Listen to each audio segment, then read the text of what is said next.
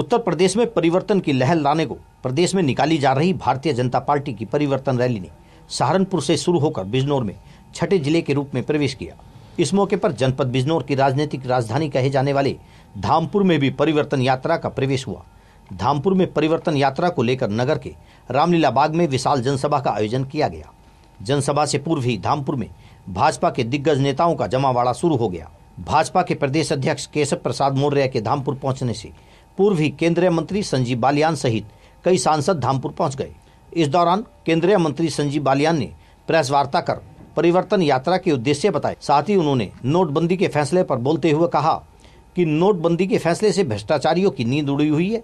हालाँकि उन्होंने कहा कि इस फैसले से आम जनता को कुछ दिन की परेशानी ज़रूर होगी, लेकिन जनता सरकार के इस फैसले के साथ खड़ी है और फैसले का समर्थन कर रही है। लगातार एक पिछले छह के छह जिलों में एक बात देखने को मिली। कि पहली बार जिस तरह से 2014 के चुनाव में जब हम वोट मांगने जाते थे सांसद जी हम और रात के 11 बज रहे हों या 12 बज रहे हों लोग कहीं ना कहीं सड़कों पर मिलते थे। एक उत्साह के साथ इसी तरह से लगातार छह के छह जिलों में लोग सड़कों पर जिस गाँव से यात्रा गुजर रही है पास में गाँव है कल तो बल्कि बिजनौर जनपद में ऐसा हुआ कि महिलाएँ रात के नौ बजे ट्रैक्टर ट्रोली में छः किलोमीटर दूर एक गाँव से आई थी। तो इससे एक बात का तो अंदाज़ा लगता है कि लोगों में बहुत उत्साह है परिवर्तन के लिए। परिवर्तन यात्रा का बारहवा दिन है और हम छठे ज़िले में हैं। उम्मीद से बहुत बेहतर। कोई ऐसा गाँव नहीं है परिवर्तन यात्रा के दौरान जहाँ के लोग पूरा गाँव का गाँव सड़क पर परिवर्तन यात्रा के स्वागत के लिए न आया हो। लोगों में एक उत्साह है, उमंग है और मुझे पूरी उम्मीद है कि जैसे परिवर्तन यात्रा का 24 दिसंबर का समापन प्रधानमंत्री लखनऊ में करेंगे, परिवर्तन यात्रा विजय यात्रा में परिवर्तित हो चुकी है। देखिए बदलाव चाहती है जनता और जनता को अच्छी तरह पता है कि व्यवस्था परिवर्तन सपा को बसपा से बदलने में नहीं होगा। व्यवस्था परिवर्तन अगर कोई उत्तर प्रदेश में कर सकता है तो भारतीय जनता पार्टी कर सकती है। अच्छी कानून व्यवस्था अच्छी सड़कें बिजली 24 घंटे बिजली ये युवा को रोज़गार ये बात की सोच सिर्फ़ भारतीय जनता पार्टी है विकास की सोच। जैसा उत्तर प्रदेश में चुनाव का समय है और नोटबंदी के मामले से एक बार फिर विपक्ष को मुद्दा मिल गया है तो ऐसे में क्या चुनौती बढ़ने वाली है पार्टी की? नहीं बिल्कुल नहीं। जिस दिन से प्रधानमंत्री ने पचास दिन का जनता से समय मांगा और जिस उत्साह के साथ जनता ने कहा कि हम समय देने के लिए तैयार हैं। बस आप देश को बदल दीजिए, भ्रष्टाचार को बाहर कर दीजिए, काला धन को बाहर निकालिए।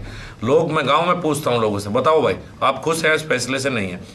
निन्यानवे नहीं, सौ प्रतिशत लोगों ने हमेशा ये कहा कि चाहे कितना भी कष्ट हो, व्यवस्था बदल दीजिए, हम इस फैसले के साथ हैं। इस दौरान धामपुर पहुँची परिवर्तन यात्रा का। कार्यकर्ताओं ने दिल खोलकर स्वागत किया। भारतीय जनता पार्टी के प्रदेश अध्यक्ष केशव प्रसाद मौर्य रामलीला बाग स्थित जनसभा में पहुँचे। जहाँ उनका कार्यकर्ताओं, जनप्रतिनिधियों और नगर की विभिन्न सामाजिक संस्थाओं ने स्वागत किया। इस मौके पर प्रदेश अध्यक्ष ने विशाल जनसभा को संबोधित करते हुए, उत्तर प्रदेश में परिवर्तन यात्रा के उद्देश्य बताते हुए समाजवादी पार्टी और बहुजन समाजवादी पर जमकर प्रहार किया। इस मौके पर जनसभा में भाजपा जिलाध्यक्ष राजीव सिसोदिया, बिजनौर सांसद राजा भारतेंद्र सिंह, नगीना सांसद डॉक्टर यशवंत सिंह बागवत सांसद डॉक्टर सतपाल सिंह, नूरपुर विधायक लोकेंद्र चौहान, एमएलसी जयपाल सिंह व्यस्त पूर्व विधायक अशोक कुमार राणा डॉक्टर इंद्रदेश सिंह दुष्यंत चौहान कामेश्वर राजपूत सहित भारी संख्या में भाजपा नेता और कार्यकर्ता गण मौजूद रहे। जिला पंचायत सदस्य यदि हो तो लक्ष्मी रावल जी। कर गई जो कर गए वो नहीं गई मेरा ऐसा निवेदन है सहयोग करें व्यवस्था में सहयोग करें बहुत बहुत धन्यवाद और जिला अध्यक्ष अशोक राणा जी बोले भारत माता की। भारत माता की। भारत माता की। देश के हालात बहुत खराब है। कानून व्यवस्था पूरी तरह से ध्वस्त हो चुकी है। भ्रष्टाचार चरम सीमा पर है। एक परिवार जिस प्रकार से पारिवारिक जंग में व्यस्त होकर के उत्तर प्रदेश को भगवान के भरोसे छोड़ देने का काम किया। ऐसी सरकार को उखाड़ फेंकने का यह एकदम निर्णायक समय है और मैं आप सबसे परिवर्तन यात्रा के आगमन के अवसर पर आज बिजनौर जनपद के धामपुर में यही आह्वान करने के लिए आया हूँ।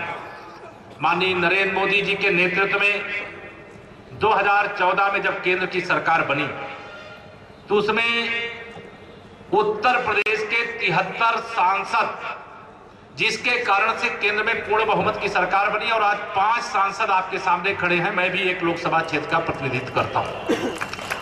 इसे 2014 का नारा था।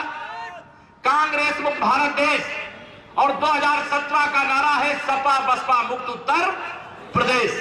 इस संकल्प को लेकर के हमें जाना है। मैं आपसे सवाल करना चाहता हूँ, माननीय मोदी जी ने जो फैसला सुनाया है कि हम एक हज़ार और पाँच सौ की नोटों को बंद करने जा रहे हैं। आप में से बड़ी संख्या में ऐसे लोग होंगे जिनको तकलीफ़ हुई होगी। लेकिन मोदी जी के इस फैसले से आप खुश हैं कि नाराज़ हैं? मोदी जी के फैसले से आप खुश हैं तो दोनों हाथ उठा करके भारत माता की। और मैं आप सबको आह्वान करना चाहता हूँ, अगर मोदी जी के सपनों का भारत मोदी जी के सपनों का उत्तर प्रदेश बनाना चाहते हैं। तो 2017 में भारतीय जनता पार्टी से कोई गुंडा और अपराधी चुनाव के मैदान में नहीं आएगा, या मैं आपको विश्वास दिलाते हुए यह अपील करना चाहता हूँ 2017 में यह संकल्प लेकर के जाइए जो लोग नहीं आए उन तक संदेश पहुंचाइए 2017 में कोई गुंडा कोई अपराधी कोई भ्रष्टाचारी विधानसभा का देखने पावे या तय करके जाइए। नोटबंदी को लेकर के किस तरीके से मानते हैं भारतीय जनता पार्टी गरीबों के साथ गरीबों के साथ थी गरीबों के साथ रहेगी जिस निर्णय से देश का हित हो रहा होगा जिस निर्णय से गरीब का हित हो रहा होगा उस निर्णय से भाजपा न पीछे हटी है न कभी पीछे हटने वाली है।